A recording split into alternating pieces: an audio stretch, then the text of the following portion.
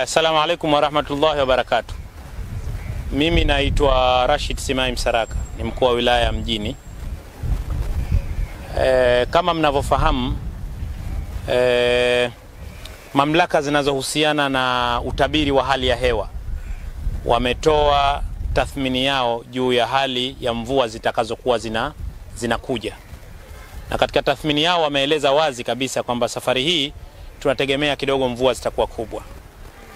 Kwa hivyo nimetoa maelekezo kwa mkurugenzi wa manispaa kuhakikisha kwamba yale maeneo yote hatarishi ambayo yalikuwa yanategemewa kwamba yatakuwa na mafuriko, basi tuweke tahadhari zaidi.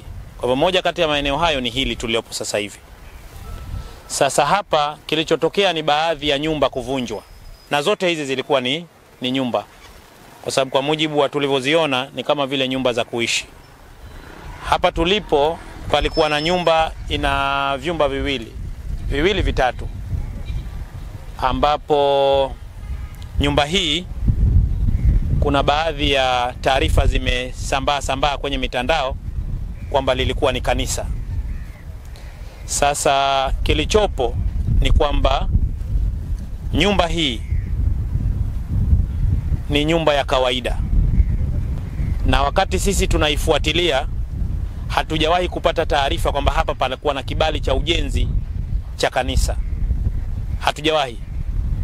Kwa hivyo na nyumba zote hizi hapa zilizojengwa ambazo tumeshiriki katika kuziondoa zimejengwa pahala ambapo hapastahiki kujengwa nyumba, kwa sababu eneo lote hili tayari lilishalipwa na mradi wa ZUSP, na eneo hili ni eneo hatarishi kwa masuala ya, ya mafuriko, na hata ukiangalia mbele bado zipo alama za baadhi ya nyumba ambazo manispaa wameweka ambazo tunategemea pia nazo tutaendelea kuzivunja, kwa sababu kwa mfano kama ile pale baa ya Mbawala huku upande wa nyuma manispaa walishaweka alama za kubomoa, nao tutaibomoa.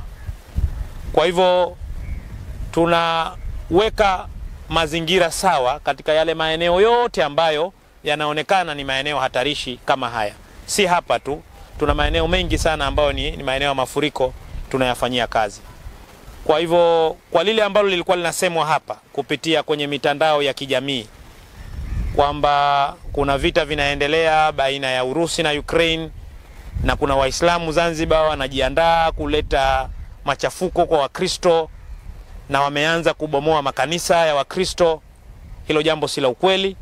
Na mle kwenye zile clip zilizokuwa zinasambaa kwenye mitandao, kuna mtu mmoja ametajwa, anaitwa Daudi Suna. Sijui kama yule mtu ni kiongozi wa, wa, wa, wa, wa dini au ni raia wa kawaida, lakini ametajwa mtu ambaye anaitwa Daudi Suna. Sisi tutakachokifanya tumeshaweka maelekezo kwa kamanda OCD kumtafuta Daudi Suna ili atusaidie kwenye kutoa maelezo ya kile kinachoendelea kule mitandaoni, kama yeye ni mhusika au ni ya kutengenezwa au hahusiki, whatever itakavyokuwa.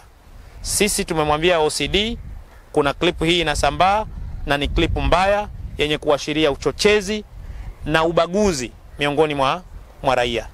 Sisi sasa hivi kwa mujibu wa katiba ya Zanzibar na katiba ya Jamhuri ya Muungano wa Tanzania kuna haki ya kuabudu, kuna haki ya kujenga msikiti, kuna haki ya kujenga kanisa, kuna haki ya kujenga tempo, kuna haki ya kujenga lukalu, whatever dini yako yoyote.